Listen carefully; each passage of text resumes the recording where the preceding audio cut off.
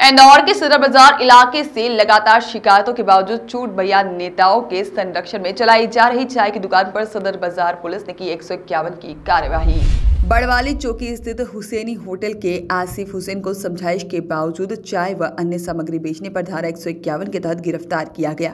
पूर्व में भी इसके भाई पर लॉकडाउन के दौरान होटल संचालित करने पर कार्रवाई की गई थी।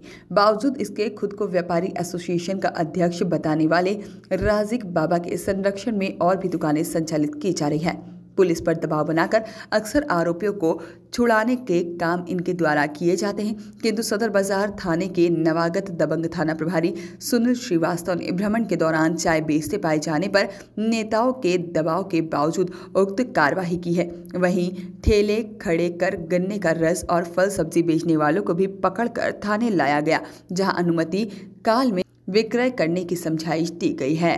सर, ये सदर बाज़ार थाना क्षेत्र की बड़वाली चौकी पर हुसैनी होटल संचालक चाय वाले को जो थाने पर लाए हैं उस पर क्या कार्रवाई की जा रही है? इसमें अभी इसके खिलाफ एक सौ इक्यावन की कार्रवाई कर रहे हैं। जी। तो वहाँ पे काफ़ी लोगों को भीड़ इकट्ठा करके और चाय केटली के अंदर चाय घर से बना कर लाता है।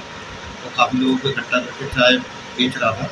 तो अभी इसको फिफ्टी में कार्रवाई की जा सर देखने में आया कि इसके पूर्व भी इसका जो भाई आरिफ उस पर भी एक सौ की कार्रवाई की गई थी। लेकिन कहीं ना कहीं ये फिर से उस होटल को खोल लेते हैं फिर से वही चाय बेचना हमारी पुलिस की पेट्रोलिंग पार्टी घूम रही है नगर पालिका की पार्टियाँ घूम रही है मैं भी घूम घूमता हूँ।